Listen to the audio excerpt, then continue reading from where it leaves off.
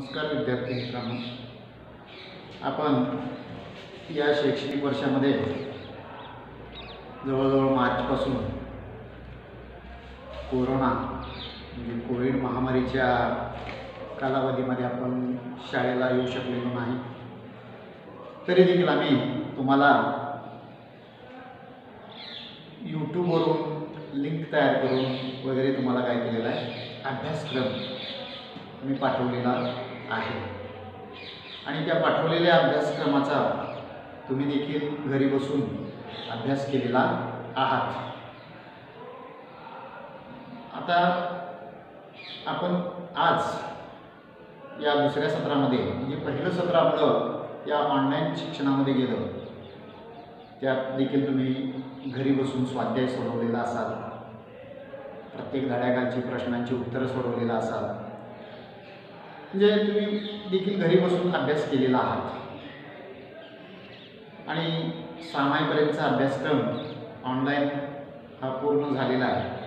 आता सामायनंतर आम्ही ऑनलाईन शिक्षण पद्धतीमध्ये बदल करून म्हणजे लाईव्ह आम्ही तुमच्यासमोर येण्याच्या दृष्टीनं कारण तुम्हाला देखील आम्हाला बघण्याची उत्सुकता असणार आहे. त्यासाठी आम्ही लाईव्ह हे व्हिडिओ आपण तयार करून तुम्हाला पाठवत आहोत. आता याच्यामध्ये आपण इयत्ता सहावी विषय इतिहास या विषयाचा इथं आपण अभ्यास करणार आहोत. जो सहावीचा इतिहास आहे तो प्राचीन काळचा इतिहास आहे. म्हणजे इतिहासाचे कालखंड जे आहे ते तीन आहेत. प्राचीन मध्ययुगीन आणि आर्वाची त्यापैकी सहावीला जो इतिहास आहे तो प्राचीन काळचा इतिहास आहे. आणि प्राचीन काळचा इतिहास अभ्यासताना तुम्ही पहिल्यापासून जी प्रकरणं म्हणजे जवळ तुम्ही सहा प्रकरणं आजपर्यंत अभ्यासलेला आहात. म्हणजे सामाईपर्यंतचा सिलेबस जो तो सहा म्हणजे सहा प्रकरणं होती ती सहा प्रकरणं तुम्ही अभ्यासलेला आहात. आणि त्या सहा प्रकरणांचा अभ्यास करत असताना तुम्हाला प्राचीन काळातला इतिहास त्याच्यामध्ये तुम्ही बघितलेला आहात. या सहाव्या प्रकरणामध्ये तुम्ही प्रकरणाचं नाव आहे जनपदे आणि महाजनपदे. मग जनपदे आणि महाजनपदांमध्ये देखील तुम्ही बघितलेला सोळा जनपदे जी होती. म्हणजे छोटी छोटी राज्य आहेत. जनपदे म्हणजे काय? राज्य आहे. प्राचीन काळातली राज्य त्या राज्यांचा तुम्ही अभ्यास केला. कारण राजेशाही पूर्वी प्राचीन काळापासून. आणि या राजेशाहीच्या काळातल्या छोट्या छोट्या राज्यांचा तुम्ही अभ्यास केलेला आहात. आता त्याच प्राचीन काळातल्या भारतातला जो जो सातवा प्रकरण आहे तो मौर्यकालीन भारत. हे देखील एक राज्य आहे. या मौर्य काळात भारतामध्ये मौर्य राजे लोकांनी भारताचा म्हणजे त्यांच्या राज्याचा विस्तार कसा केला याची वगैरे माहिती आपण याच्यामध्ये बघणार आहोत. पण मौर्यांच्या अगोदर देखील आपल्या भारतामध्ये अनेक राज्य होती. त्यावेळी एक तुम्हाला एक पुस्तकामध्ये जे सातवं प्रकरण तुम्ही पुस्तकं काढा त्याच्यामध्ये तुम्हाला बरीच माहिती म्हणजे पुस्तकातून बघावी लागणार आहे कारण त्याच्या काळात नाणे असतील किंवा एखादं तुम्हाला माहीत आहे का? हे जे काय मुद्दे आहेत ते तुम्हाला इथं बघावं लागणार आहे. चित्र जे आहेत ते बघावी लागणार आहेत. त्यासाठी तुम्ही पुस्तक काढून बसा आता याच्यामध्ये पहिलंच त्याच्यामध्ये तुम्हाला विचारलेल्या या प्रकरणामध्ये मौर्यकालीन भारत याच्यामध्ये तुम्हाला माहीत आहे. त्याच्यामध्ये काय झालेलं आहे? इसवी सन पूर्व सहाव्या शतकात इराणमध्ये सायरस नावाच्या राजानं मोठं असं साम्राज्य निर्माण केलं होतं. आणि एवढं मोठं साम्राज्य त्याचं होतं की आफ्रिकेतील म्हणजे रोमपासून म्हणजे रोम भारतापासून ते रोम भारतापासून रोमपर्यंत आणि आफ्रिकेतल्या इजिप्तपर्यंत भारत कुठं आहे? आशिया खंडामध्ये. भारतापासून ते रोमपर्यंत म्हणजे युरोपीय राष्ट्र युरोपपर्यंत. आणि दक्षिणेकडं खाली गेलात तर आफ्रिकेपर्यंत. म्हणजे आफ्रिकेच्या इजिप्त म्हणजे आफ्रिकेमध्ये उत्तरेकडल्या बाजूला इजिप्त हा देश आहे. तिथंपर्यंत या सायरसचं राज्य साम्राज्य बसवलेलं होतं. आणि त्यावेळी कसं होतं राजे लोक आपल्या साम्राज्याचा विस्तार म्हणजे साम ज्याचं राज्य तो मोठा राजा ज्याचं राज्य मोठं तो मोठा राजा असं संकल्पना त्यावेळी असल्यामुळं प्रत्येक राजाला काय करायचे? आपल्या राज्याचा विस्तार करण्याचा प्रयत्न करायचे. आणि त्या सायरसनं आपलं राज्य एवढं मोठं साम्राज्य त्यांनी निर्माण केलेलं होतं. आणि इसवी सन पूर्व पाचशे अकराच्या सुमारास दारियुशनं दारियुश नावाच्या एका इराणी सम्राटानं काय केलं? भारताच्या वायव्येकडील प्रदेशावरती आक्रमण आता भारताच्या वायव्येकडील प्रदेशात म्हणजे तो आक्रमण करत पंजाबपर्यंतचा भाग त्यानं दारियुशनं काय केलेला आहे? जिंकून घेतलेला आहे. मी ते साम्राज्य कोणाचं होतं? पहिल्यांदा सायरसचं होतं. पण तिथं दारियुश म्हणजे कोण आहे? इराणी सम्राट आहे. यानं काय केलं? त्या दारियुशच्या प्रदेशावरती आक्रमण करून तिथं आपलं राज्य निर्माण केलं. आणि दारविश ज्या ठिकाणी म्हणजे इराण आपल्या भारताच्या वायव्य भागामध्ये पंजाबपर्यंतचा जो भाग आहे तिथं जिंकून घेतला तो प्रदेश जिंकून घेतला त्या प्रदेशामध्ये तिथं साम्राज्य प्रस्थापित केल्यानंतर तिथल्या लोकांना आपल्या सैन्यामध्ये देखील त्यांनी काय केलेलं आहे? भरती करून घेतलेला आणि त्यात ही माहिती एका ग्रीक इतिहासकारानं सांगितलेलं आहे. आणि सम्राट दारुश जो आहे ज्यावेळी तो भारताच्या वायव्य भागावरती आक्रमण केला तिथं त्याचं साम्राज्य स्थापन केलं हा इराणचा त्यावेळी भारताचा आणि इराणचा. दारियुशमुळं काय झालं? व्यापारी संबंध सुरू झाले. इराण आणि भारत यांच्यामध्ये काय झालेलं आहे? तिथं व्यापारी किंवा राजनैतिक संबंध प्रस्थापित झालेले आहेत. आणि त्याच्यातून कला म्हणजे विविध प्रकारच्या इराणी कला ते भारतामध्ये आल्या भारतातल्या कला त्यांच्याकडे गेल्या. म्हणजे देवाणघेवाण सांस्कृतिक आर्थिक राजकीय जे आहे ते देवाणघेवाण त्याच्यातून वाढलं. आणि सम्राट दारेशनं साम्राज्यात म्हणजे त्यावेळी त्यांनी सर्व सर्वत्र सगळीकडे चालावं असं एक चलन काढलं दारिक नावाचं आता दारिक नावाचं एक चलन जे आहे म्हणजे चलन म्हणजे पैसा तुम्हाला माहिती आहे. ती आता तुम्ही काहीतरी एखादी वस्तू विकत घ्यायचं म्हटल्यानंतर चलन वापरताय म्हणजे पैसे वापरताय. ते पैसे जे आहेत ते पैसे त्या त्या काळात नाणी वगैरे काढायचे राजे लोक अशा नोटा वगैरे त्यावेळी नव्हत्या पण चांदीच्या सोन्याच्या किंवा तांब्याच्या अशा प्रकारच्या नाणी त्यावेळी ते लोक म्हणजे राजे लोक काढायचे. आणि दारिक नावाचं एक असंच एक प्रकारचं चलन या संपूर्ण राज्यात इराणपासून ते वायव्य भारतापर्यंतच्या प्रदेशासाठी चालणारं त्याने काय केले नाणं किंवा चलन त्या दारियुश राजानं काय केलेलं आहे? तयार केलेलं आहे.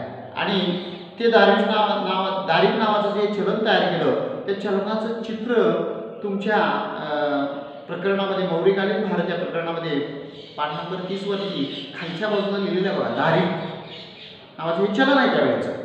त्याच्यावरती त्या राजाचं काय आहे? चित्र आहे.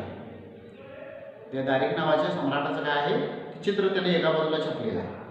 आणि मग त्यामुळं ते चलन एकच प्रकारचं चलन तिथं लागू असल्यामुळं व्यापार करणं म्हणजे भारत भारताला व्यापार करणं किंवा इराणी लोकांना भारत व्यापार करण्यासाठी काय झालं ते अतिशय सोपं झालं. म्हणजे व्यापार करण्यासाठी सोपं काम चलन एकच असल्यामुळं दोन्हीकडे एकच चलन चालत असल्यामुळं देवाणघेवाण वाट करण्यासाठी काय झालं त्याचा उपयोग झाला. आणि या दारी दारिकनं म्हणजे त्यावेळी पारशी पोलीस म्हणजे दा दारियुशनं काय केलेलं आहे? पारशी पोलीस नावाचं एक शहर त्यांनी उभारलं राजधानीसाठी. पारशी पोलीस पारशी पोलीस नावाचं राज एक शहर त्यांनी कशासाठी उभारलं? त्याच्या साम्राज्याच्या राजधानीसाठी त्यांनी काय केलेलं आहे? एक ठिकाण इराणमध्ये त्यांनी काय केलेलं आहे? ते शहर वसवलं. आणि ते या त्या दारियुशच्या साम्राज्याचं ते काय होतं? राजधानी ठिकाण. म्हणजे तिथून त्याचा राज्यकारभार चालायचा. म्हणजे हा झाला म्हणजे प्राचीन काळातला म्हणजे मागचा जो इतिहास आहे अनेक अशी सहाव्या इसवी सन पूर्व सहाव्या शतकातले काळातली ही अशी राज्य मोठमोठी राज्य होती हे आपण पाहिलं. आता आपण मौर्यकालीन भारत याच्यामध्ये आपण बघणार आहोत. याच्यामध्ये मुद्दा आपल्याला बघायचा आहे तो मौर्य साम्राज्याचा विस्तार बघायचा आहे पण त्याच्यावरची पार्श्वभूमी इथं बघणं गरजेचं आहे. मौर्य साम्राज्य अगोदर अनेक राज्य भारतामध्ये होती आणि त्यातच एक असा ग्रीक सम्राट आहे. ग्रीक सम्राट सिकंदर. ग्रीक सम्राट हा सिकंदर. हा ग्रीक सम्राट सिकंदर जो आहे हा सिकंदरचं नाव दुसरं आहे अलेक्झांडर.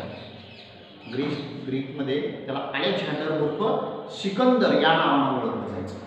हा फार महत्वाकांक्षी. होता त्याला काय करायचं होतं?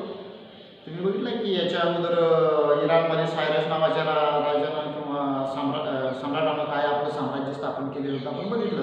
पण या सिकंदराला संपूर्ण जगच जिंकायचं होतं. संपूर्ण जग जगावरती त्याला राज्य करायचं होतं. त्यासाठी तो जग जिंकण्यासाठी म्हणून काय झालेला आहे? निघालेला आहे. युरोपमधून ग्रीकमधून ग्रीसमधून. आणि तिथून तो संप म्हणजे युद्ध करत करत जिंकत जिंकत तो काय झालेला आहे? इसवी सन पूर्व तीनशे सव्वीसमध्ये. इसवी सन पूर्व तीनशे सव्वीस. तीनशे सव्वीसमध्ये तो काय केलेला आहे? भारताच्या वायव्य भागावरती तो म्हणजे तिकडून जिंकत आलेला आहे. वायव्य भारता वायव्य भारतावरती त्याने काय केलेलं आहे? वायव्य भागावरती आक्रमण केलं आणि तो आक्रमण करत करत सिंधू नदी ओलांडून आला. भारतामध्ये सिंधू नदी आहे माहिती आहे वर काश्मीरमधून ती वाहत गेलेली आहे. त्या सिंधू नदी ओलांडून तो काय केलेला आहे? भारतामध्ये तक्षशिलेपर्यंत तो आलेला आहे. म्हणजे भारतात तो जिंकत आलेला आहे. म्हणजे तो युरोपमधून तो जिंकत आलेला आहे सगळे प्रदेश. कारण त्याला जग जिंकायचं होतं. जगावर म्हणजे त्याचं साम्राज्य त्याला मुक्त करायचं होतं म्हणून ते अजून देखील इतिहासामध्ये म्हटलेलं जगत जिता शिकवणं म्हणजे तो वायव्य भारताच्या भारतात प्रवेश करून सिंधू नदी पार करून भारतामध्ये तक्षशिलेपर्यंत तो युद्ध करत काय केलेला आहे? जिंकत आलेला आहे. मग तो येत असताना भारतात मग आपल्या भारतामध्ये देखील अनेक राजे लोक होते. आता राजे लोकांनी तो आपल्यावरती आक्रमण करते म्हटल्यानंतर भारतातल्या राजे लोकांनी देखील काय केलं? त्याला विरोध केला. स्थानिक रा स्था- भारतीय राजांनी त्याच्यावरती त्याच्याबरोबर काय केलेला आहे? निखराचा असा दिला. त्याला भारतामध्ये येऊ द्यायचं नाही किंवा आपला भारत जिंकू द्यायचं नाही या दृष्टीनं काय केलेला लढा दिलेला आहे. पण तरीही तो पंजाबपर्यंत आला. तरीही काय केलं? तक्षशिलेत आल्यानंतर त्याला विरोध होत होता. तिथून पुढं परत पंजाबपर्यंत त्यानं काय केलेला आहे? तो आपलं भारत जिंकण्यामध्ये यशस्वी झाला. पण मात्र नंतर त्याच्या या स्वारीत त्याचं सैन्य कंटाळलेलं होतं. कारण कितीतरी वर्षे तो काय करत होता ग्रीकमधून जिंकत जिंकत येत होता युद्ध करत येत होता.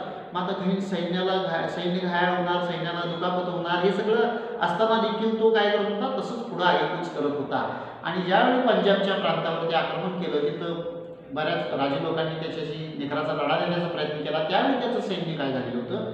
थकलेलं होतं. त्या स्वारीमध्ये त्यांच्या सैनिकांना फार हल्लापेष्टा सहन कराव्या लागलेल्या होत्या. आणि त्यामुळं ते सैन्य आता उठता म्हणजे कंटाळले होते. त्यांना आता युद्ध नको होतं. आणि त्यामुळं ती सैन्य मायदेशी जाण्यासाठी उत्सुक होते. कधी आत्ता आम्ही आमच्या घराकडे जाऊ? अशी त्यांची धारणा झालेली होती. त्यामुळं पुढचं युद्ध सिकंदर त्या सैनिकांना खराच म्हणत होतं. कारण त्याला जग जिंकायचं होतं. पण सैनिकांनीच काय केलं? या सिकंदर त्याच्याच सैनिकांनी काय केलं? सिकंदराच्या विरोधात बंड पुकारला आम्ही युद्ध करणार नाही. आमच्या हाला कष्ट भरपूर झालेले आहेत. आणि आम्ही आता इथून पुढे युद्ध करण्यासाठी जाऊ शकत नाही. की युद्धात आम्ही भाग घेऊ शकत नाही. आणि त्यामुळं शेवटी सिकंदराला नायला असतो पंजाबपर्यंतचा भाग जिंकून त्याला माघारी जावं लागतं. तू माघारी गेला. पण माघारी जात असताना जो हातातला भाग जिंकलेला आहे त्या जिंकलेल्या भागावरती प्रदेशाची व्यवस्था लावण्याचं काम देखील या सिकंदरानं केलं. तो जात असताना ग्रीक अधिकाऱ्यांना त्या ठिकाणी जो जो भाग जिंकून घेतलेला आहे तक्षशिलेपासून पंजाबपर्यंतचा जो भाग जिंकून घेतलेला आहे तिथं तिथं त्यांनी काय केलं? काही ग्रीक अधिकाऱ्यांची नेमणूक केली. ज्या अधिकाऱ्यां अधिकाऱ्यांची नेमणूक केली आणि त्यांच्या ताब्यामध्ये तो प्रदेश दिला आणि त्या अधिकाऱ्यांनी जे नेमून दिलेलं आहे त्यांनाच काय म्हटलं जातं? सत्रप काय म्हटलं जातं? सत्रप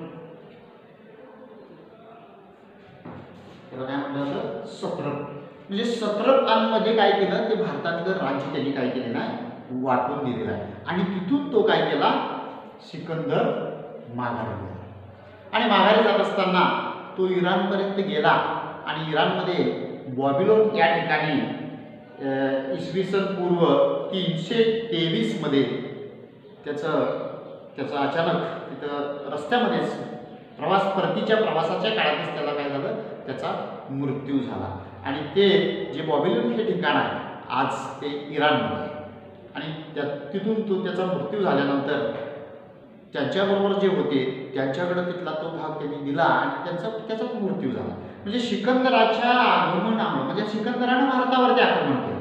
कुठून तो ग्रीकमधून आलेला. आणि इथंपर्यंत त्यानं काय केलं संपूर्ण ग्रीकपासून ते भारतापर्यंतचा भाग मधला हा सिकंदराचं राज्य झालं. आणि त्यामुळं या सिकंदराच्या आगमनामुळं काय झालं? भारत आणि पश्चिमेकडील जग यांच्यामध्ये काय झाला? व्यापार वाढीस लागला. म्हणजे एकाच राज्य असल्यामुळं तिथून तिकडं व्यापार सुरू झालेला आहे. आणि पश्चिमेकडील जगाशी म्हणजे आपल्या भारताचा संपर्क येऊ लागला त्याच्या अगोदर आपल्या देशाचा पश्चिमेकडील जगाशी काय नव्हता? संपर्क नव्हता. आणि सिकंदराबरोबर एक इतिहासकार होता. तो इतिहासकार जो आहे त्यांनी त्यावेळी त्याच्या लेखातून त्यांनी सांगितलेलं आहे की पश्चिमेकडल्या कडील जगाला भारताचा परिचय करून देण्याचं काम कोणी केलं तर सिकंदरानं केलं. म्हणजे पश्चिमेकडल्या राष्ट्रांना इकडं भारत आहे माहीत नव्हतं. भारताला पश्चिमेकडची राष्ट्र युरोपी राष्ट्र आहे हे माहीत नव्हतं. हे परिचय करून देण्याचं काम कोणी कोणी केलेलं आहे? तर सिकंदरानं केलं. असं सिकंदराचा इतिहासकार त्यावेळी सांगितलेला आहे. आणि तेवढंच नाही तर मग आता या युरोपीय राष्ट्रांशी संपर्काला मध्ये अरब राष्ट्रांशी संपर्काला आणि त्यामुळं या भारतामध्ये अनेक प्रकारचे म्हणजे देवाणघेवाण त्या पश्चिमेकडल्या राष्ट्रांच्याकडून होऊ लागले. आणि याच्यामध्येच की ग्रीक भागातलं जी मूर्ती करण्याची जी पद्धत आहे मूर्ती कला म्हणजे विविध प्रकारच्या कला असतात. त्या कला ज्या आहेत त्या कलांचा प्रभाव भारतीयांच्यावरती पडला. म्हणजे ग्रीक मूर्तिकलेचा कलाशैलीचा प्रभाव भारतीय मूर्तिकलेच्या शैलीवरती पडला. आणि भारताची जी मूळ मूळ मूर्तिकला मूर्ती तयार करण्याची कला होती त्याच्यामध्ये ग्रीकांचा देखील प्रभाव पडल्यामुळं त्याच्यातून तयार झालेली जी कला आहे मूर्तिकला त्याला गांधार. त्याला काय म्हटलेलं आहे? गांधार नावाची कलाशैली काय झालेली आहे? नव्यानं उदयाला आलेली गांधार शैली काय म्हटलेलं आहे तुला? गांधार? गांधार शैली. म्हणजे गांधार शैली जी आहे गांधार चित्रकला म्हणजे किंवा मूर्तिकला असू दे किंवा चित्रकला असू दे गांधार शैली ही काय झालेली आहे? नव्यानं एक नवीन प्रकारची कला आपल्या भारतामध्ये ती रूढ झालेली आहे. आणि त्याच्यानंतर ग्रीकांच्या काळामध्ये देखील ग्रीकांनी नाणी पाडलेली आहे सिकंदराने देखील नाणी पाडलेली होती. ग्रीक राजे काय करायचे? किंवा त्याच्यावर देखील तुम्ही जर पहि- होती होतं इराणमध्ये सायरस राजाला देखील काय केलं होतं? आपल्या स्वतःचं एक काय केलेलं होतं? नाणं पाडलेलं होतं. नाण्याचं नाव काय सांगितलं होतं तुम्ही? नाण्याचं नाव तुम्हाला आठवत असेल. दारियुश नावाच्या राजानं जे नाणं पाडलेलं होतं त्याला काय म्हटलेलं? आपण दारिक म्हटलेलं आहे. तसं सिकंदरानं देखील सिकंदराच्या काळामध्ये त्याच्या नावानं काय केलेलं आहे? नाण्या ह्या पाडलेल्या आहेत. त्यावेळी ती प- प्रथाच होती त्या काळच्या राजे लोकांच्या काळात. प्रथाच होती की नाणी पाडणारा जो राजा आहे त्या राजाचं एका बाजूला चित्र आणि दुसऱ्या बाजूला एक चित्र असायचं. त्याच्यामध्ये ते एखाद्या आपल्या ग्राम ग्रामदैवत असेल किंवा देवता असेल ते देवतेचं एका बाजूला चित्र. म्हणजे अशा पद्धतीनं राजाचं चित्र तर आणि एका बाजूला. एखाद्या ग्रीक देवतेचं चित्र असलेलं नाणी या सिकंदरानं देखील पाडलेलं होतं. ते चित्र तुम्हाला इथं पान नंबर एकतीस वरती एका बाजूला पहिलं जे चित्र दिसतं बघा तुम्ही ज्या चित्रामध्ये जे सिकंदरानं चांदीचं नाणं तिथं पाडलेलं आहे दोन्ही बाजू दाखवलेली आहे पान नंबर तीस वरती ती नाणं दिसतं तुम्हाला.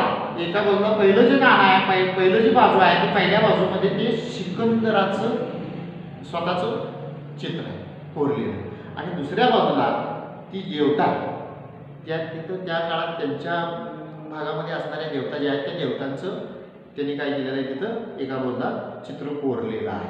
म्हणजे अशा प्रकारचे नाणी त्यावेळी युरोपियन लोक किंवा ग्रीक लोक किंवा रोमन लोक ते पा अशा पद्धतीची नाणी पाडायची. आणि हे नाणी पाडत असताना हे नाणी जे आहेत ते नाणी ती जशा त्या पद्धतीने नाणी पाडत होती त्याच पद्धतीने म्हणजे भारतामध्ये देखील ती कला रूढ झाली. भारतामध्ये देखील मग काय करू लागले? भारतातल्या राजे लोक देखील काय करू लागले? ग्रीक पद्धतीनंच नाणी पाडायला भारतामध्ये देखील म्हणजे सुरुवात झाली. मग भारतातले राजे लोक देखील काय करू लागले? आपल्या एका नाण्याच्या एका बाजूला आपलं चित्र आणि दुसऱ्या बाजूला आपल्या देशातले आपल्या भागात राज्यात कोण ग्रामदैवत असेल किंवा देवता असेल ते देवतेचं चित्र एका बाजूला ते पूर्ण म्हणजे अशा पद्धतीनं बऱ्याच गोष्टी म्हणजे युरोपी किंवा ग्रीकांच्याकडून आपण घेतलं ग्रीकांनी देखील आपल्याकडून घेतलेले आपणच त्यांच्याकडून घेतलो असं नाही. आपल्याकडल्या देखील काही गोष्टी बऱ्याच गोष्टी काय केलेल्या त्यांनी देखील स्वीकारलेल्या आहेत. कारण देवाणघेवाण सुरू झालं. म्हणजे जगाशी देवाणघेवाण सुरू आपलं त्या प्राचीन काळात देखील होतं. आत्ताच आहे असं नाही. त्यावेळी देखील प्राचीन काळात देखील ग्रीक सम्राट जो आहे तो भारतामध्ये आला आणि त्यामुळं आपलं ग्रीकपर्यंत आपलं देवाणघेवाण आर्थिक सामाजिक सांस्कृतिक हे सगळं देवाणघेवाण काय होतं? सुरू होतं. म्हणजे त्यावेळी देखील आपला व्यापार पाश्चात्य राष्ट्रांशी चालायचा युरोपीय राष्ट्रांशी व्यापार चालत होता. आजच चालते असं नाही. आणि असं हे या सिकंदरानं आपल्या भारतावरती आक्रमण करून इथपर्यंत त्यांनी राज्य प्रस्थापित केलं. सत्रप जे आपण सत्रप म्हटलेलं आहे सत्रप म्हणजे कोण आहेत जे ग्रीक अधिकाऱ्यांना या स- सिकंदरानं काय केलेलं होतं? नेमून ठेवलेलं होतं. ज्या ज्या पंजाबपर्यंतच्या म्हणजे तक्षशिलेपासून पंजाबपर्यंतच्या भागामध्ये ज्यांना ज्यांना ते अधिकार दिले होते. त्यांना सत्रप म्हटलेलं आहे. ते सत्रपांमध्ये वाटून दिलेलं होतं. आता हे सत्रपांचं राज्य त्या ठिकाणी चालू होतं.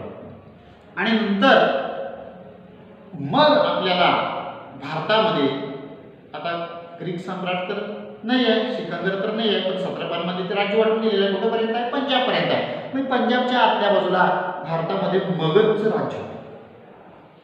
कोणाचं राज्य होतं? मगध. आता हे सिकंदराचं इथं कार्य संपलं आता आपण पुढं बघणार आहोत मौर्यकालीन भारत. काय बघणार आहोत? मौर्यकालीन भारत. मौर्य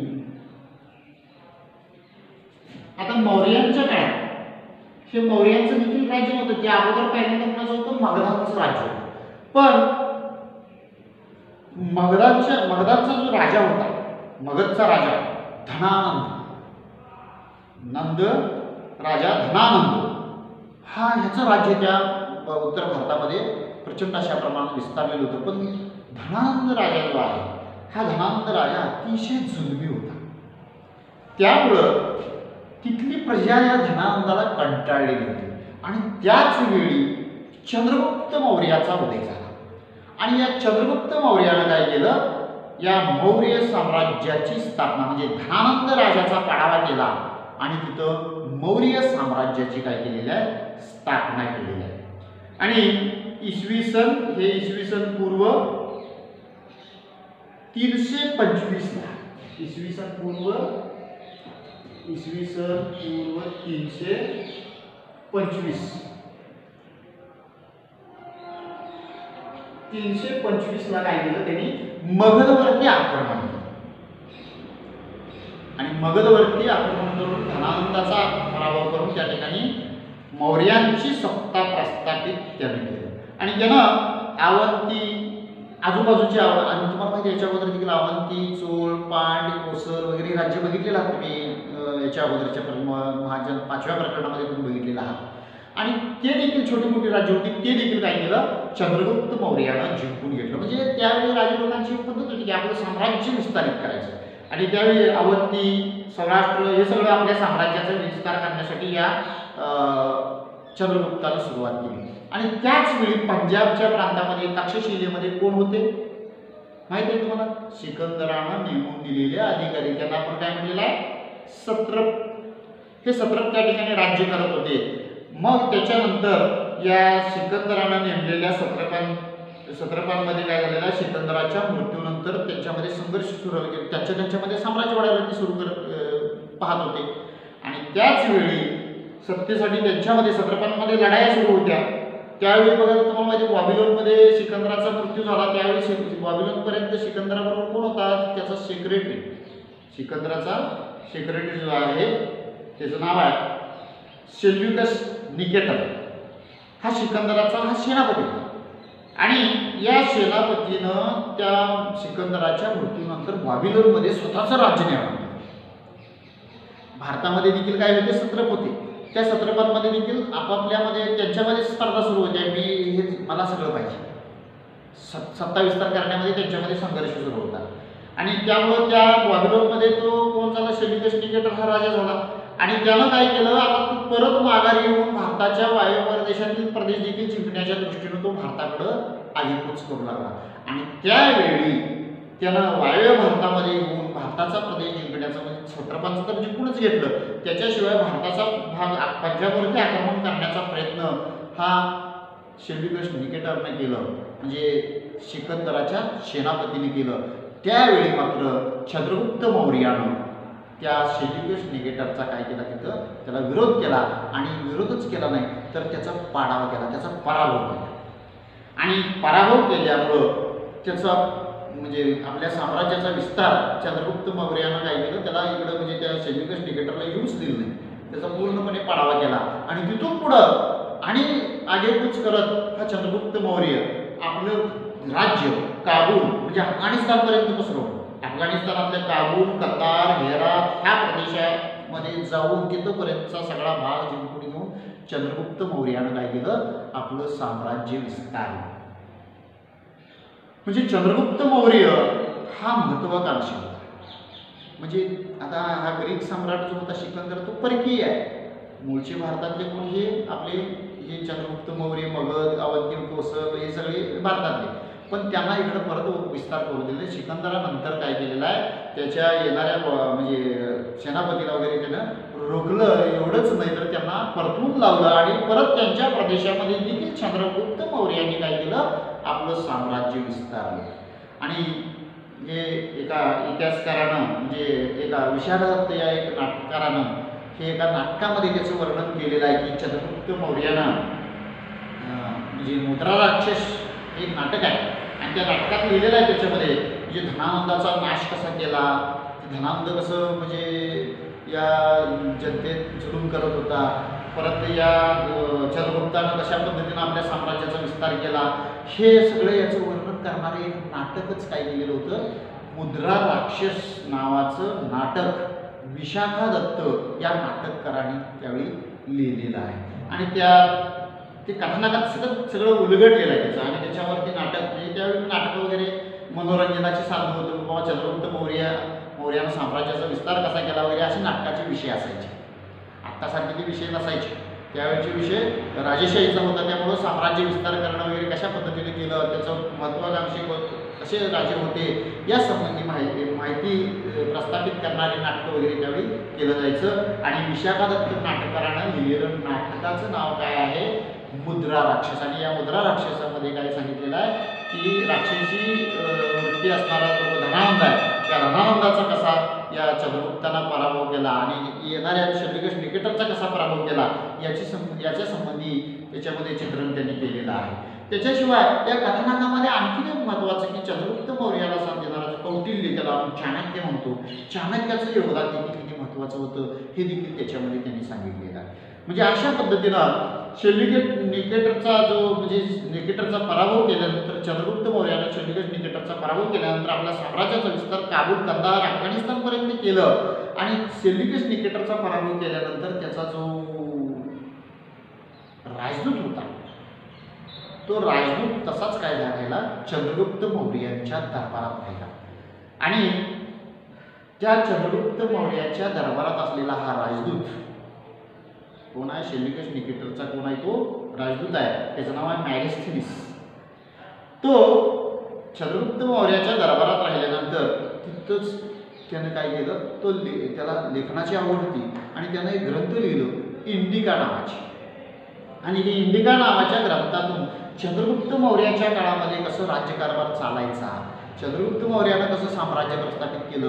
हे त्या त्यानं देखील लिहून ठेवलेला आहे. आणि इतिहास लिहिण्यासाठी त्या इंडिका या ग्रंथाचा देखील इथं काय झालेला आपल्याला उपयोग ठरलेला आहे. म्हणजे शिलालेखामध्ये हे उल्लेख आहे. इंडिका नावाचा ग्रंथ त्यांनी लिहिलेला आहे. त्याचा उपयोग आपल्याला इतिहास समजण्यासाठी त्या काळातला इतिहास समजण्यासाठी आपल्याला इथं होत आहे. आणखीन एक महत्त्वाचं म्हणजे चंद्रगुप्त मौर्य जो आहे इतिहासकारांच्या मते असं मानलं जातं.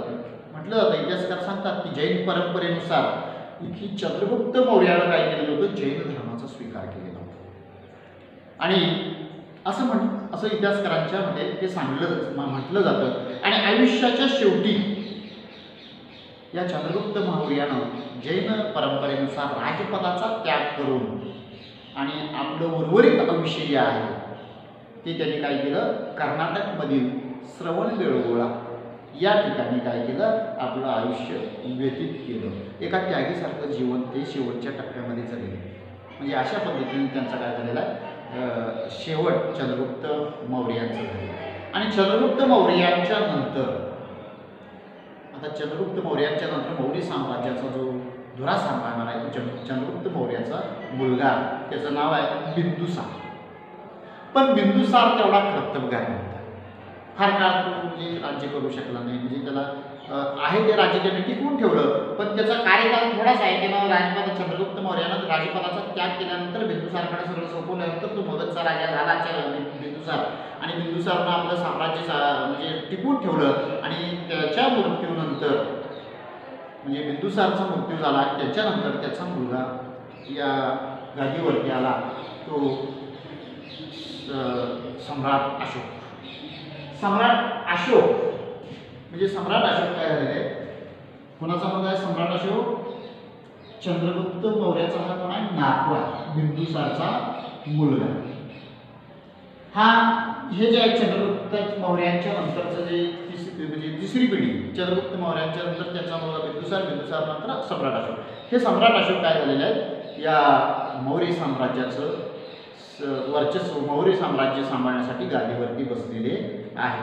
आता त्याच्यानंतर म्हणजे इसवी सन दोनशे त्र्याहत्तरमध्ये इसवी सन पूर्व इसवी सन पूर्व दोनशे त्र्याहत्तरमध्ये ज्यावेळी बिंदुसार होता त्या बिंदुसार होता त्याच वेळी सम बिंदुसाराने काय केलं होतं? सम्राटला अशोकाला काय केलं होतं की दक्षिणेकडल्या तक्षशिलाचा भाग जो आहे उत्तरेकडं तक्षशिलेचा भाग आहे. त्या तक्षशिलेच्या भागामध्ये त्यांनी उज्जैनी या या भागामध्ये त्यांनी राज्यपाल म्हणून या सम्राट अशोकांची नेमणूक केलेली होती. आणि सम्राट अशोक ज्यावेळी राज्यपाल म्हणून तिथं काम करत होते वडील राजे होते त्यावेळी राज्यपाल म्हणून तिथं काम करत होते त्यावेळी देखील तक्षशिलेमध्ये काय झालेलं होतं बंड पुकारलेलं होतं तिथल्या लोकांनी. आणि तिथल्या लोकांचं बंड मोडून काढण्यामध्ये म्हणजे राज्यपाल असताना तक्षशिलेत झालेलं बंड मोडून काढण्यामध्ये यशस्वीरित्या त्याने मोडून त्याने यशस्वीरित्या काय केलेलं आहे? पार पाडलेले आहेत आणि आपलं साम्राज्य तिथलं राज्य राज्यपालाचं जे पद आहे ते पद अतिशय म्हणजे धाडसानं त्यांनी तिथं काय केलेलं आहे घोषवलेलं आहे. आणि त्याच्यानंतर बिंदुसारांचा मृत्यू झाल्यानंतर काय केलं त्यांनी? राजपद म्हणजे मगध आपलं मौर्यांच्या साम्राज्याचं राजपद त्यांच्याकडे आलं. आणि मौर्यांच्या साम्राज्याचं राजपद आल्यानंतर त्यांनी पहिल्यांदा आपल्या साम्राज्याचा विस्तार करण्यासाठी कलिंगवर आक्रमण केलं. कलिंगचं एक राज्य होतं त्या ठिकाणी.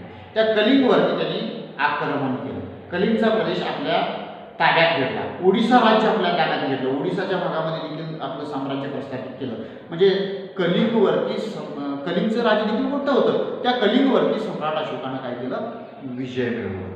म्हणजे अशा पद्धतीनं आपल्या साम्राज्याचा विस्तार करण्यामध्ये सम्राट अशोकाने देखील मोठ्या सम्राट अशोक हा देखील पराक्रमी. होता आणि त्याने आपल्या साम्राज्याचा विस्तार कुठून कुठंपर्यंत केला? की वायव्येस अफगाणिस्तान आणि उत्तरेस नेपाळपर्यंत.